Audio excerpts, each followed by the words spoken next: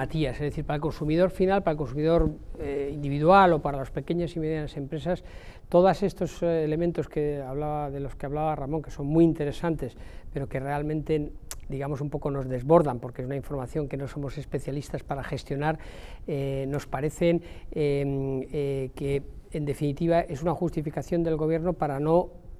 tomar determinadas soluciones que debían de haber tomado hace tiempo. Si no me equivoco,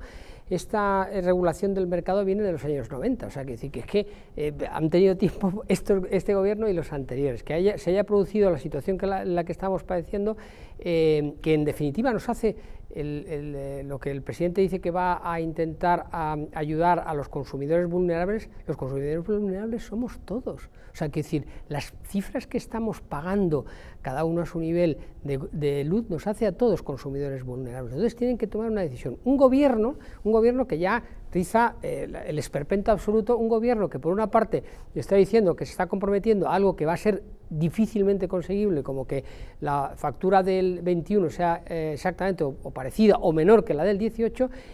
y, ese mismo gobierno, parte de su gobierno, quiere sacar a la gente a la calle para protestar por una política que, están eh, que, ha consolidado ellos, que no, o sea, mejor dicho, una, eh, una, acción que no dan soluciones ellos. Es una situación muy grave. Es decir, nosotros lo estamos viendo en el recibo de la, mes, del, perdón, de la luz a final de mes, pero las, las, pequeñas y medianas empresas lo están recibiendo con situaciones en, en un momento que la,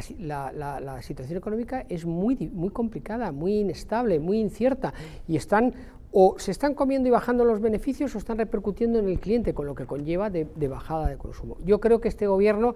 eh, por muy eh, palabras altisonantes que diga eh, Sánchez en su escaparate de